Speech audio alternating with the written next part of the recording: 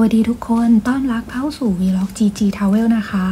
ห่างหายกันไปหลายเดือน วันนี้มีโอกาสเดินทางไปเที่ยวญี่ปุ่น หลังจากเปิดฟรีวีซ่า เราจะเดินทางไปเที่ยวที่ไหนกัน ติดตามกันได้เลยค่ะ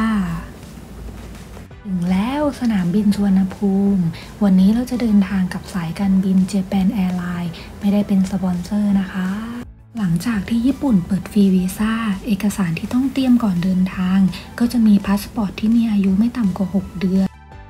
เอกสารรับรองการฉีดวัคซีนแล้ว 3 เข็ม เพื่อทำการลงทะเบียนในเว็บ Visit Japan Web นะคะ เมื่อทำครบทุกอย่างแล้ว ก็พร้อมเดินทางไปญี่ปุ่นได้เลยค่ะ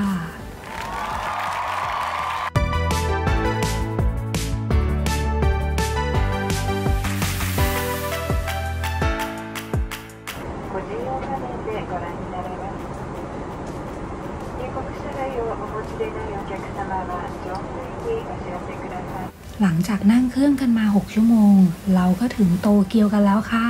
and appreciate your understanding also please do not take out your baggage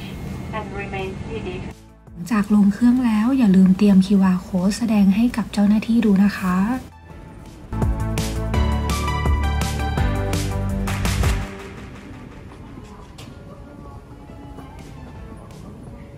เดินทางของเรายังไม่สิ้นสุด เพราะเราจะต่อเครื่องกันไปที่ฮาโกดาเตะใช้เวลาเดินทางต่ออีกราวๆหนึ่งชั่วโมงค่ะ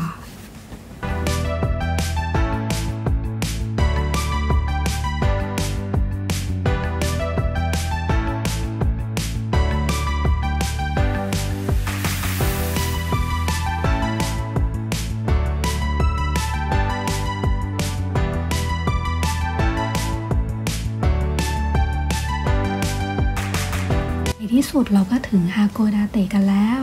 พรุ่งนี้เราจะไปชมใบไม้เปลี่ยนสีที่สวนโคเซตซึเอ็นกันนะคะ ขอ skip time มาเช้าอีกวันเลยนะคะ ก่อนเดินทางไปชมใบไม้เปลี่ยนสี ขอแวะร้านขนมที่อยู่ใกล้สถานีฮาโกดาเตะเพื่อเติมพลังกันก่อนเนาะช่วงนี้เป็นปลายฤดูขององุ่นมัสแคท เราเลยสั่งเมนูนี้มาลอง ปรากฏว่า อร่อยมากค่ะ นทางไปสวนโคเซซือเอ็น เราจะนั่งบัสสาย 82 จอดที่ชันชาลา 2 ส่วนตารางรถบัสสามารถขอได้ที่ Travel Information ในสถานีฮาโกดาเตะนะคะ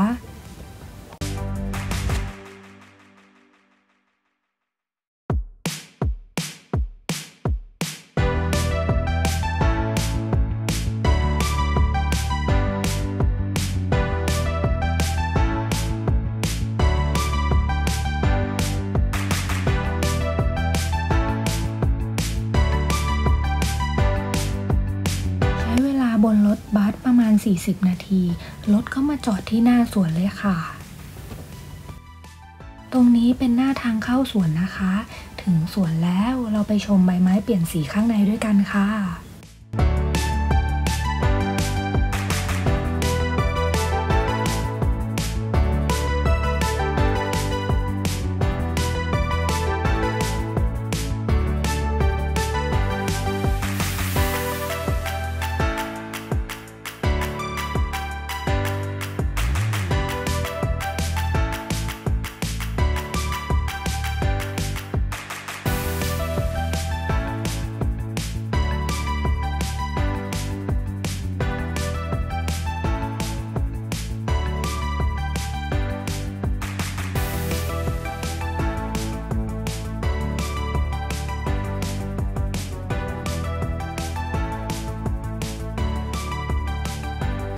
ช่วงนี้กำลังเย็นสบายค่ะ อยู่ที่ราวๆ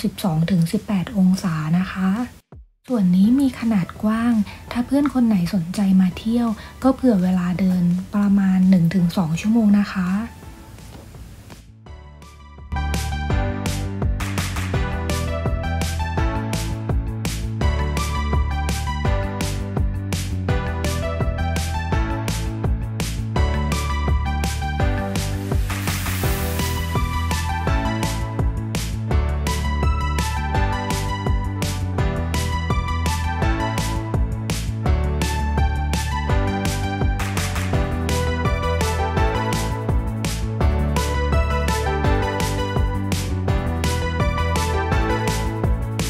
หวังว่าเพื่อนๆจะเพลิดเพลินกับไม้ไม้เปลี่ยนสี